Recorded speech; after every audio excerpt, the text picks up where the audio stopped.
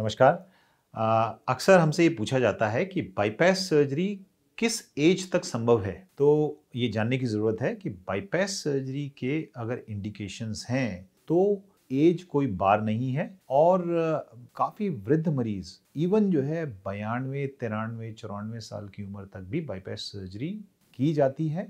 Provided कि patient को जो है चेस्ट पेन बहुत सिग्निफिकेंट है और उसकी क्वालिटी ऑफ़ लाइफ जो है उसकी वजह से काफ़ी कॉम्प्रोमाइज़ हो गई है और डिज़ीज़ बहुत एडवांस्ड है और मरीज़ को हार्ट अटैक आने के चांसेस काफ़ी ज़्यादा होते हैं। ऐसी स्टेज में जो है आप जो है मरीज़ का बाईपास ऑपरेशन कर सकते हैं। अगर वो फिजियोलॉजिकली प्रिजर्व्ड पेशेंट है तो आप नब्बे, इक्यानवे, बयानवे साल तक भी बाईपास ऑपरेशन कर सकते हैं। हर महीने हम दो या तीन ऐसे मरीज़ ज़रूर ऑपरेट करते हैं जिनकी उम्र पिचासी साल से ज़्यादा है। तो ये जानने की ज़रूरत है कि एज लिमिटेशन नहीं है बाईपास सर्जरी के लिए। अगर मरीज़ फिट है, फिजियोलॉजिकली प्रिजर्व है तो किसी भी एज में बाईपास सर्जरी संभव है। नमस्कार।